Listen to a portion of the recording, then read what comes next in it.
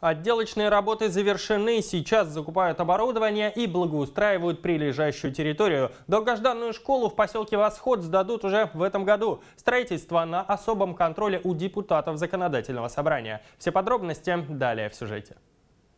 Построить современную школу в поселке Восход жители просили неоднократно. Район растет, население увеличивается. В старом здании, рассчитанном на 300 детей, ютятся больше 800 учеников. Новое здание начали строить в 2020-м в рамках нацпроекта образования. За работой наблюдали с волнением все родители – Дочка Светланы пойдет в первый класс. Правда, в сентябре ребята за парты сядут еще в старом здании. В старую школу мы пойдем, к сожалению, хоть уже блоки, в принципе, А и В уже готовы, но по отдельности школа не может э, запускаться. Ее даже не примут в таком формате.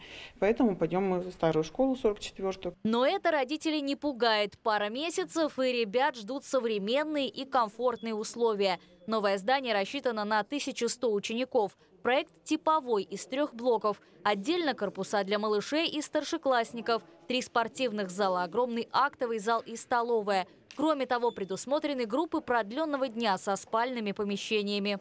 Это кабинет для младших школьников. Здесь отделочные работы уже завершены, сейчас привозят оборудование. Парты и стулья уже на месте, они специальные для малышей, современные. А на стене уже в ближайшее время будут монтировать интерактивную доску.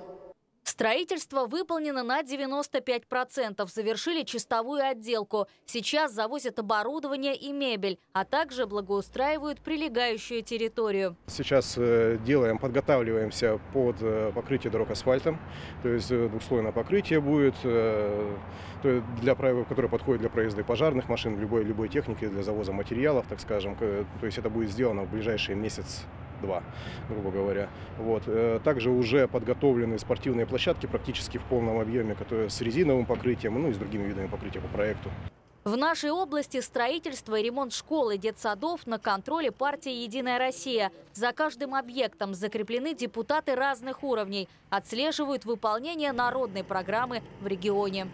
Давно он нуждался в строительстве, и он переходящий, будем говорить так искренне и честно, исходя из накадов избирателей, но нам, к нашему счастью, выпало такое время, когда этот объект будет завершен вот буквально в этом году.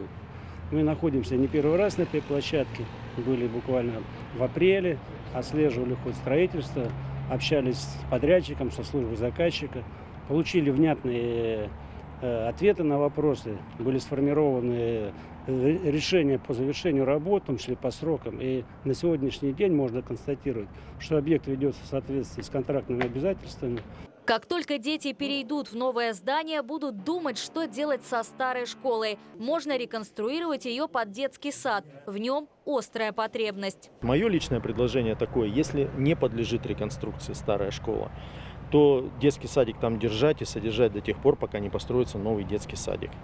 А затем уже переезжать. Иначе у нас в очереди только 200 человек стоят. Это будет как бы такое, ну, скажем, социальное большое напряжение, и родители у меня просто негодуют от этого. Закончить все работы и принять здание смогут к концу года. Это значит, что к началу третьей четверти в новом здании начнутся занятия. Кстати, в этом году набрали 6 первых классов. На следующий год смогут разместить уже 8. Ксения Петренко, Константин Менин. Новости ОТС.